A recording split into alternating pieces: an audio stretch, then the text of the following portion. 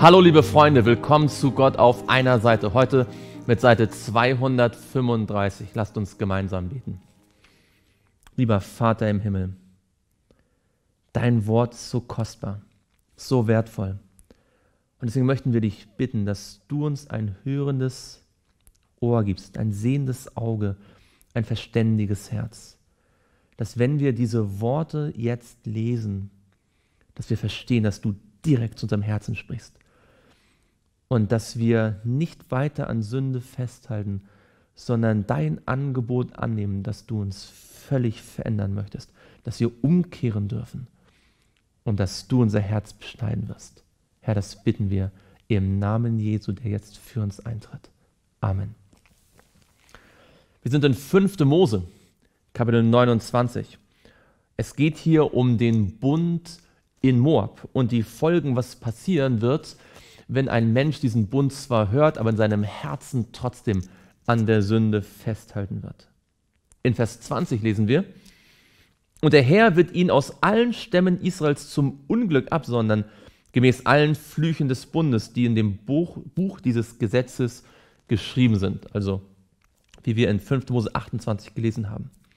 Und dann werden das zukünftige Geschlecht eurer Kinder, das nach euch aufkommen wird, und die Fremden, die aus fernen Ländern kommen, fragen, wenn sie die Plagen dieses Landes und die Krankheiten sehen, die der Herr ihm auferlegt hat, und wie er dieses ganze Land mit Schwefel und Salz verbrannt hat, dass es nicht besät werden kann und nichts hervorbringt, dass kein Kraut darauf wächst, gleich wie Sodom, Gomorra, Adama und Sebuin umgekehrt worden sind, der Herr in seinem Zorn und Grimm umgekehrt hat, wie wir in 1. Mose 19 gelesen haben.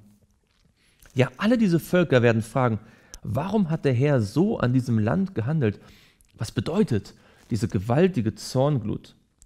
Da wird man antworten, weil sie den Bund des Herrn, des Gottes ihrer Väter verlassen haben, den er mit ihnen schloss, als er sie aus dem Land Ägypten führte.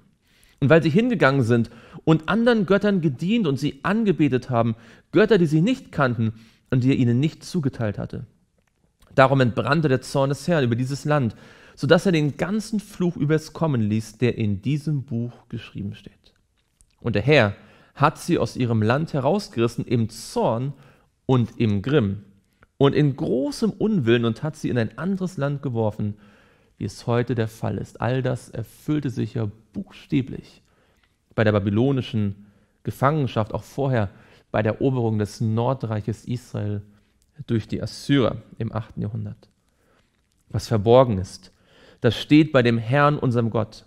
Was aber geoffenbart ist, das ist ewiglich für uns und unsere Kinder bestimmt, damit wir alle Worte dieses Gesetzes tun. Es gibt manche Dinge, die hat uns Gott nicht offenbart und wir sollten auch nicht zu viel darüber spekulieren und versuchen, Dinge zu ergründen, von denen Gott gar nicht möchte, dass wir sie unbedingt bis ins Letzte verstehen müssen.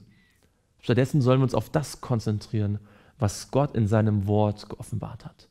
Wir sollten uns darauf konzentrieren, was sein Wort sagt und das zur obersten Priorität in unserem Leben machen. Und jetzt kommt ein Kapitel, das für mich persönlich vielleicht eines der allerschönsten Kapitel in der ganzen Bibel ist. 5. Mose 30.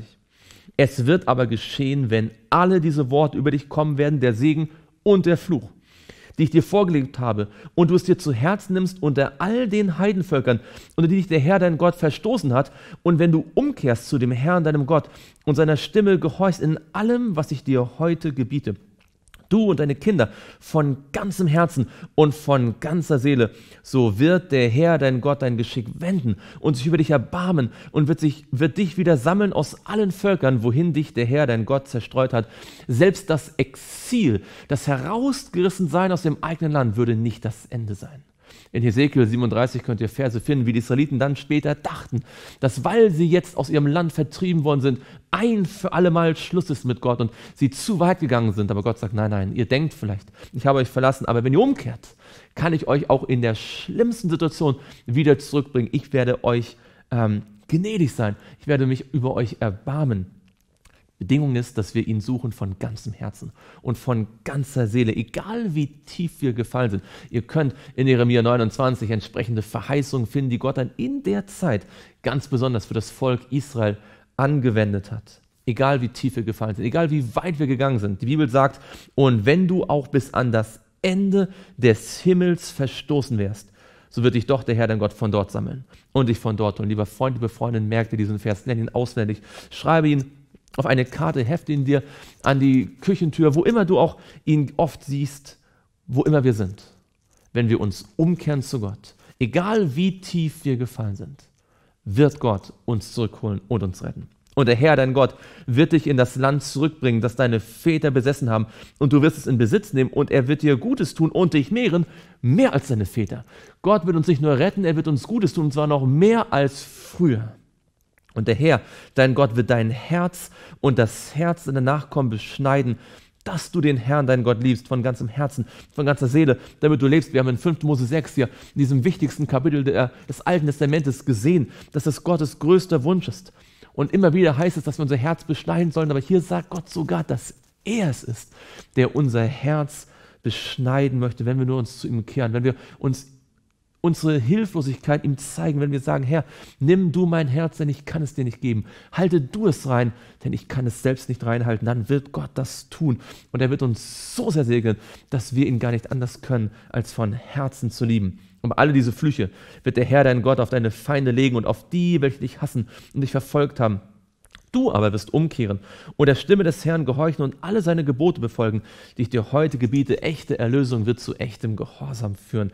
Und der Herr, dein Gott, wird dir Überfluss geben in allem Werk deiner Hände, an der Frucht deines Leibes, an der Frucht deines Viehs, an der Frucht deines Landes, zu deinem Besten, denn der Herr wird dich, sich wiederum über dich freuen, zu deinem Besten, wie er sich über deine Väter gefreut hat, wenn wir gesegnet worden sind und dann gegen ihn rebelliert haben und dann den Fluch erlebt haben und uns dann bekehren und umkehren und Gott wieder suchen, wird er uns segnen segnen, so sehr, wie er uns am Anfang gesegnet hat, ja noch mehr.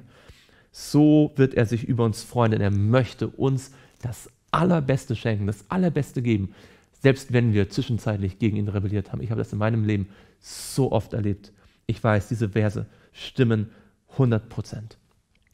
Wenn du der Stimme des Herrn deines Gottes gehorchst und seine Gebote und seine Satzung befolgst, die in diesem Buch des Gesetzes geschrieben stehen, wenn du dem Herrn deinem, deinem, wenn du zu dem Herrn deinem Gott umkehrst, von ganzem Herzen von, und von ganzer Seele, denn dieses Gebot, das ich dir heute gebiete, ist nicht zu wunderbar für dich und nicht zu fern. Lieber Freund, liebe Freundin, was Gott hier sagt, das können wir alle in Anspruch nehmen. Wir können es ergreifen. Wir müssen nicht lange studieren, nicht lange irgendwelche Dinge tun, sondern wir können es heute, hier, jetzt in Anspruch nehmen.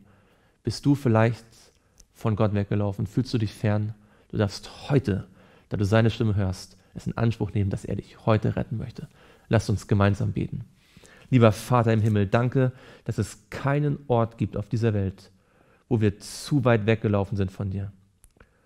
Danke, dass wann immer wir uns zu dir kehren, egal was wir getan haben, wie oft wir es getan haben, egal wie schlimm es gewesen ist, dass du uns retten kannst, zurückholen kannst, uns wiederherstellen kannst, wenn wir uns nur von ganzem Herzen zu dir kehren. Herr, das Einzige, was uns ich vergeben kannst, ist die Sünde gegen den Heiligen Geist, wenn wir diesem Streben, diesem Werben des Heiligen Geistes nicht nachgeben, wenn wir uns verstocken, wenn unser Herz nicht dich sucht.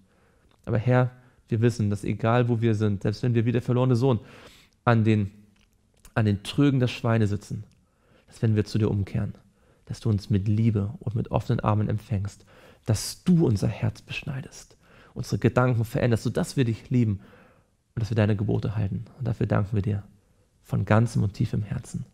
Im Namen Jesu. Amen.